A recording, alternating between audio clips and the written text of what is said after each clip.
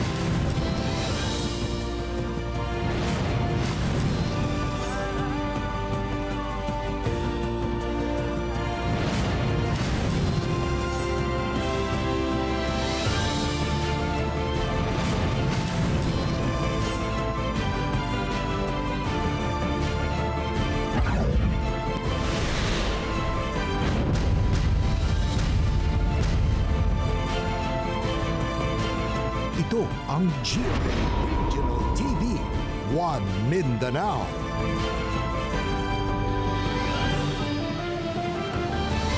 Mayong hapon Mindanao, kini ang GMA Regional TV 1 Mindanao. Hatod namong pinakadagko ug pinakaulahing balita sa Mindanao.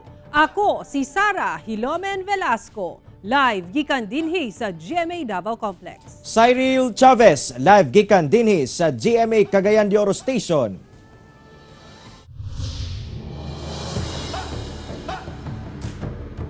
Tulo ka motorcycle rider samdan human na disgrasya dihang nagpahigayon og drag race sa Tagum City kung asa usa ka multicab ang nadamay. Nasayran sab nga wala di ay mga lisensya mga rider ug wala say rehistro ang mga motorsiklo. Ani report ni Argil Relator. Sa video nga gi-upload sa social media, makita ang usa ka puting multicab nga nitabok og nag-left turn sa National Highway sa Barangay Kanukutan, Tagum City sa Davao del Norte. Samtang sa layo, makita ang suga sa tulo ka motor nga padulong sa samang direksyon sa multicab. Sa kapaspas sa pagpadagan sa mga motor, naabda ni ini ang multicab. Unang gidasmagan sa usa ka motor ang likod nga bahin sa multicab. Ang resulta, nabagno sa dalan ang motor dungan sa pagkalabay sab sa rider ni ini. Sama sab ang gidangatan sa duha pa ka nagsunod nga motorsiklo. Sa tulo ka mga rider nga naaksidente, duha ang gidala sa Davao Regional Medical Center nga sila Jasper John Romero ug Angelo Zaragoza. Apan misibat ang usa. Sa investigasyon sa Tagum City Police, nahitabo ang insidente alas 11:30 Lunes sa gabi. Ang mga nag-drag race matud pa ang sad-an sa disgrasya. As of now, yung mga motors, uh, motorcycles nila dito na sa police station and uh, yung pati yung multicab. And uh, based on the uh, information dun sa multicab, uh, magkapile daw siya ng charges against dun sa mga nakabangga sa kanya na motorcycles. And uh, yun ang hinihintay na lang namin na, na reklamo Sa pagpanubay, pulos di ay walay lisensya ang mga rider ug wala sab na rehistro ang ilang mga motorsiklo. Uh, based sa ating mga nahuli, mga natanong natin, eh parang barka-barkada lang, nagpapa pagandahan lang, nagpapa nagyayabangan lang sa mga motor nila and uh, pustahan nila minsan dalawang daan, tatlong daan, ganun lang. Ako si Origil Relator para sa One Mindanao. Usa ka lolo ang patay samtang laing lolo ang nagkapaso-paso sa managlahing sunog sa Misamis Oriental. Ani ang report. Patay sa maong sunog ang 78 anyos nga si Lolo Angelito Doong sa 7, Aper Hasaan, Misamis Oriental, bandang alas 8 sa gabi adlong Martes. Nasayran nga masakiton si Lolo Angelito ug nag-inusara kini diyang miulbo ang kalayo. Sa kadako sa kalayo, miabot sa ikatulong alarma ang maong sunog. Pagkapakgang sa kalayo, napalga na lamang ang patayng lawas sa tigulang. Unya, niya nang pagkitabo sa sunog ang iyang anak ah nakalakaw dunay gi lakaw dito sa gawas pagbalik niya ah, sunog ng ilang panimalay 600,000 pesos ang inisyal nga structural damage nga natala sa BFP kung asa nagpadayon pasab sila sa pagsuta sa sinugdanan sa kalayo. Unya initially ang iyang anak awa may maitumbok nga lain nga ma possible niya pa nga makita per our investigation until now nga wa man siya laing gibiyaan nga nakaabli katuramang suga sa ilang elektrisidad lugar ug ang katudaw ila iyang laptop. So munang anggulo nga atong gitan-aw. Samtang sa Zone 1 Barangay Mohon Tagulwan Misamis Oriental, usa ka dakong sunog usab ang miulbo pasado alas 3 sa kadlawon adlawng Martes.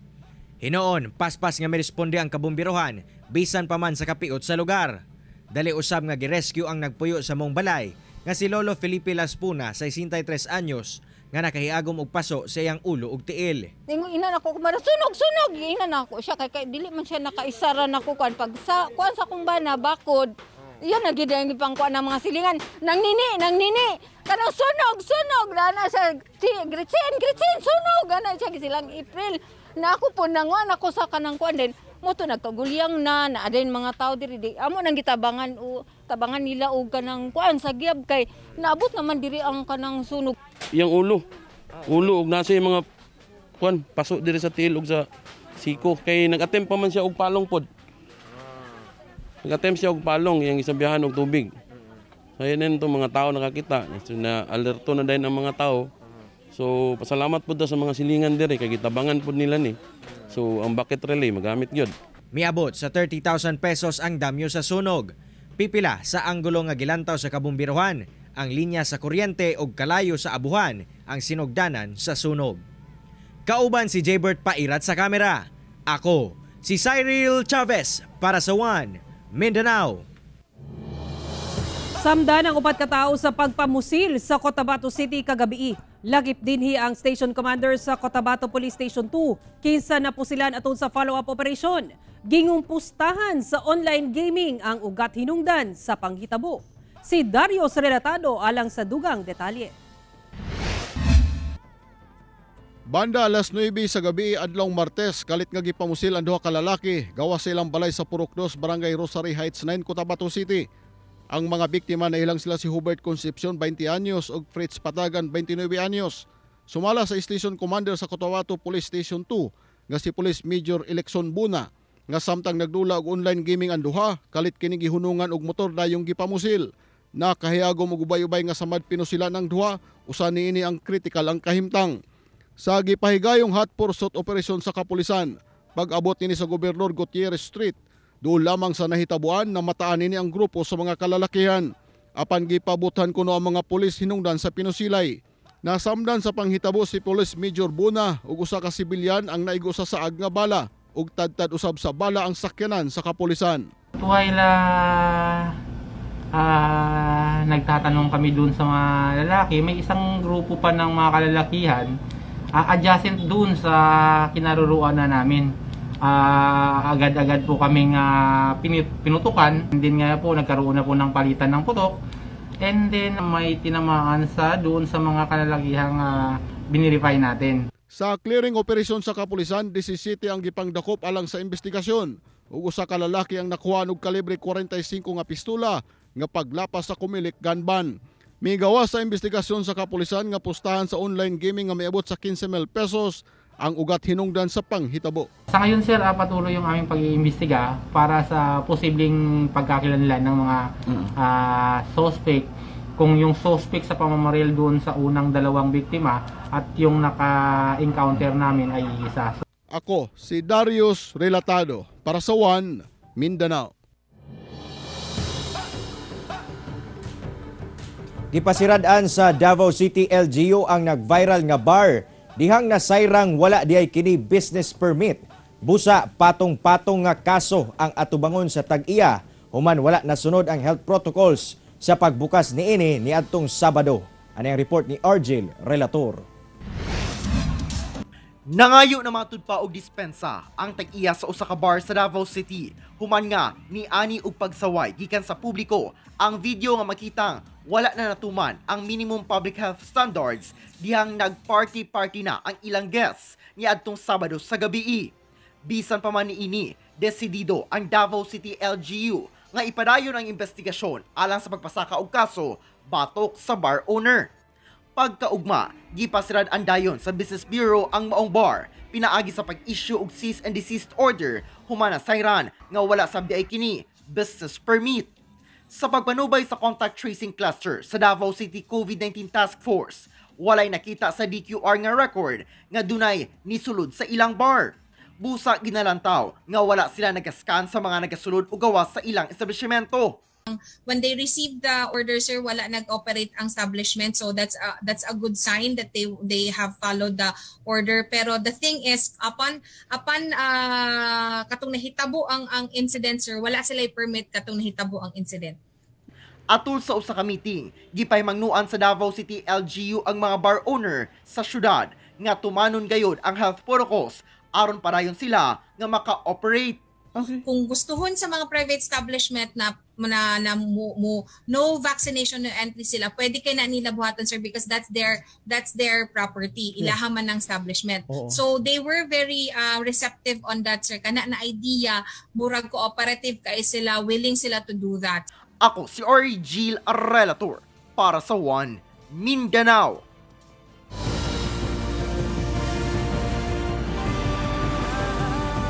Ito ang GMA Regional TV, One Mindanao.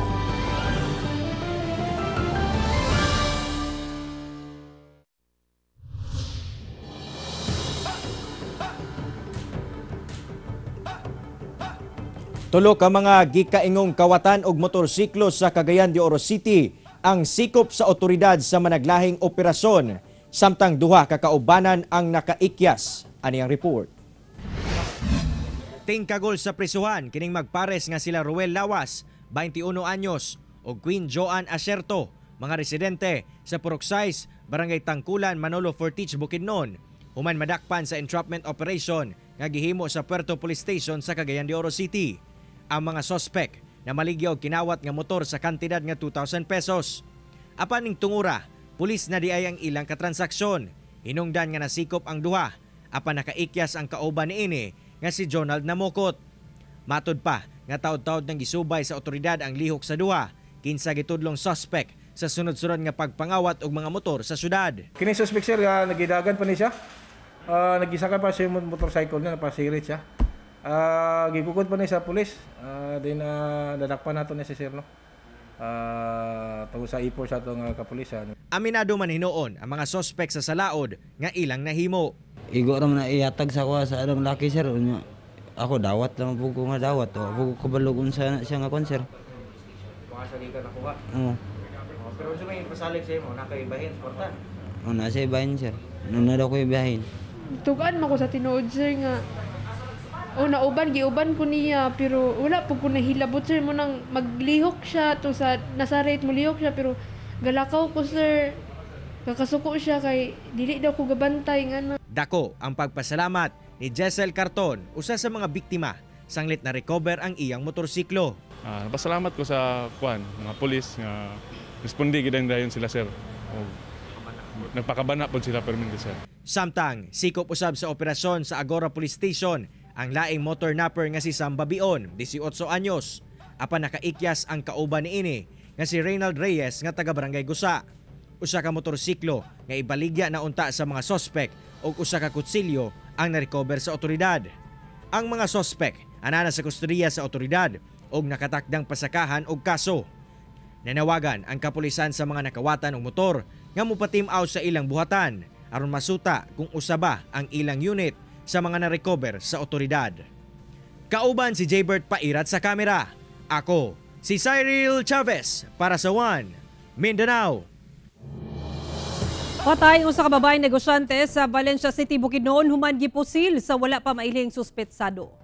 Dead on arrival sa ospital ang biktimang si Marife Cerdeniola, 46 anyos, negosyante ug residente sa Purok 13A, Wanilla Village, Poblasyon, human gipusil sa wala pa mailing suspect. Sa investigasyon sa otoridad, samtang pasakay ang biktima sa iyang sakyanan uban ang iyang banay, kalit kining giduol sa usa ka lalaki dayong pusil sa biktima punting mismo sa ulo. Human sa krimen, giling misibat ang sospek. Para investigasyon sa Valencia City Police aron masubay ang nagpaluyo sa insidente.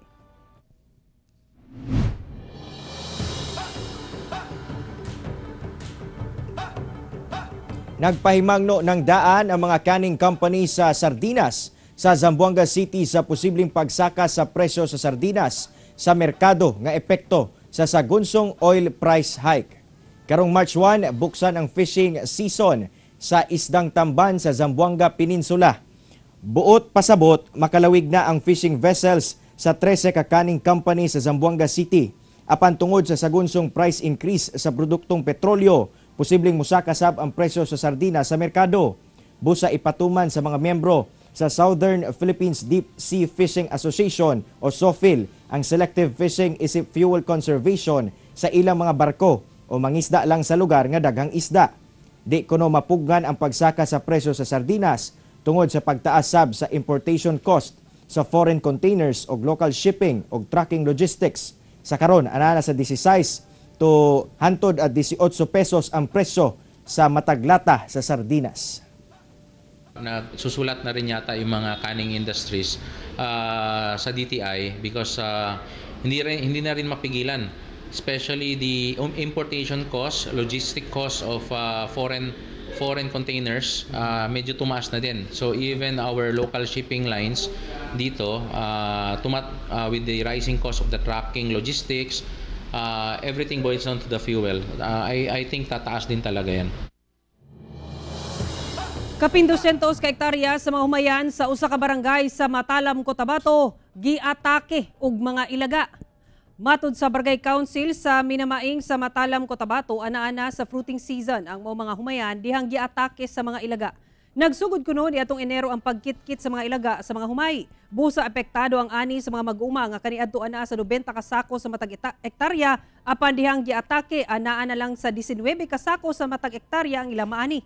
Busi na, busa nagpahigayon og rat campaign ang mga residente sa mga barangay ug gipangdakop ang mga ilaga. Miabot sa kapin 500 ang ilang nakuha. Ibaylo kuno nila ang matag usa ka gatos sa gipauga nga ikog sa nadakpang ilaga sa usa ka sakong bugas gikan sa LGU. Ana sa 15 sa 32 ka mga barangay sa Matalam ang apektado sa rat infestation.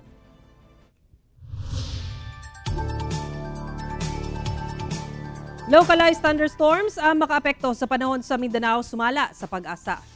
Walay na monitor ang pag-asa nga low pressure area o bagyo sa nasod apan makasinati og mapanganuron nga kalangitan nga dunay mga pagulan ang dakong bahin sa Mindanao epekto sa localized thunderstorms. Gipay mangnuan sa pag-asa mga nagpuyo sa low-lying areas nga magbantay sa mga posibleng pagbaha ug mga nagpuyo sa bukirong bahin nga mag-igmat gihapon sa landslides.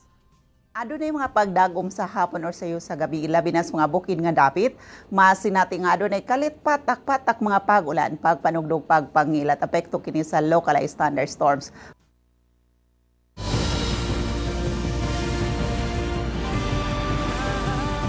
Ito ang GMA Regional TV, One Mindanao.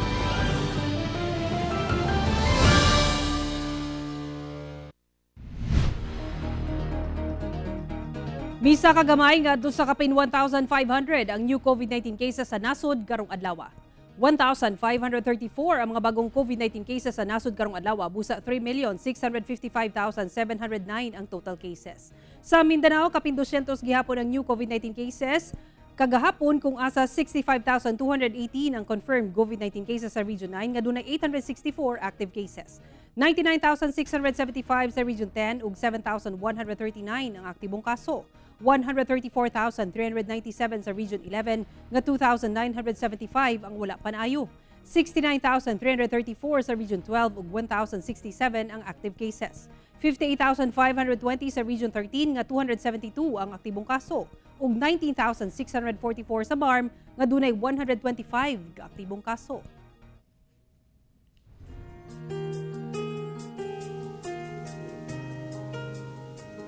Moabot sa 50 ka individual lakip mga bata nga gikan pa sa Lagyong Barangay sa Cagayan de Oro City ang gihatagan og pahalipay sa Cagayan de Oro City Police Office. Atong sayron ang ilang pag-hashtag spread kindness sa report ni James Paulo Yap. Dako ang kalipay nga makita sa mga bata Ingon man sa mga dagko nga nakabinipisyo sa programa sa Cagayan de Oro City Police Office, nagipanguluhan mismo ni Kokpo City Director Aaron Mandia. Ang mga mga benepisyaryo gikan pa sa pinakalayong lugar sa barangay Pagalungan sa Cagayan de Oro City. Nasabtan kuno sa kapulisan ang kalisod nga nasinati sa katawhan tungod sa pandemya. Mao kuno kini ang ilang pamaagi aron makatabang. Naipadama natin sa mga kababayan natin na lalo na kanina nung pag-announce na wala pa daw bugas. Kaya na napakiusapan nila, sige sumama kayo sa amin bumaba at makita nyo pag, pag, pag, pag, pag-abot ninyo sa ubos, paguliin nyo, may bitbit kayong bigas at grocery. Nagpasalamat sab kining si Ellen sa kapulisan tungod pinaagi sa maong programa naka-experience pagkaon ang iyang mga anak sa usa ka sikat nga food chain o nakabitbit pa og mga grocery items. Eh, lipay ni kay dili dili maka kuan dili maka-explain kung unsa kalipay ang nakaabot mi diani nakakaon mi og nanang pagkaon nya daghan pa gyud panghatag sa mo. Lipay. Karon pa mi nakanidan ni. Gituyo sa kapulisan ang maong programa aron mas mapaduol pa kini sa komunidad. Ito yung yung activity natin na mapalapit ang community mapalapit sa atin. Kaya nga sabi yung yung LCAC natin na ang kapulisan pumupunta sa kabukiran para ma-engage yung mga tao, ma mapakiusapan at makausap na ang programa ng gobyerno ay hindi sila pinap pinapabayaan. Kauban si Makoy Sempron sa kamera. Ako si James Paulo Yap para sa One Mindanao. Usa ka public hearing ang gipaygayon alang sa pag-amyenda sa Environmental Code of the Province of South Cotabato. Ilabi na ang pagtugot sa open pit mining sa probinsya. Ani report. Gitambungan sa religious sector, indigenous people, mga residente sa South Cotabato, akadim, public officials ug farmers ang public hearing sa sangguniang panglalawigan sa South Cotabato sa lungsod sa Tampakan alang sa pag-amyenda sa Environmental Code of the Province of South Cotabato, ilabi na ang pagtugot sa open pit mining sa probinsya. Nakalatid sa mong environmental code nga base sa Resolution number 84 series of 2010, usa sa mga probisyon ang pagpahigayon og periodic review matag lima ka tuig. Atol sa pagpresenta sa nagkadiyang sektor, dili pabor ang anaa sa 13,000 ka residente sa Tampakan sa pagtugot sa open pit mining sa mga bukid nga bahin sa lungsod.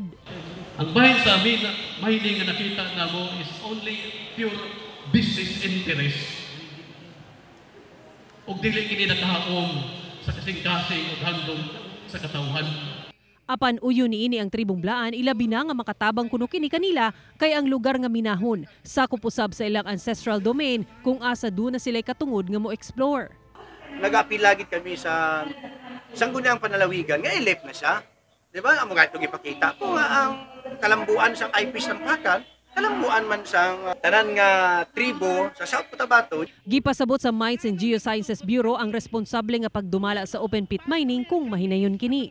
Yung permanent na damage, sabi niya permanent na damage, doable naman. No? Pwede naman natin siya, no? pwede naman natin siyang uh, maalis. No? Kumbaga, kung hindi naman natin ma-eliminate, at least ma-mitigate, no? ma-mitigate natin. Ug mao ka to mauling balita sa Mindanao karong adlaw. Dagang salamat sa inyong kanunay nga pag-uban kanamo matag adlaw. Ako si Cyril Chavez. Kini ang GMA Regional TV 1 Mindanao. Sara Hilomen Velasco, buong puso para sa Pilipino.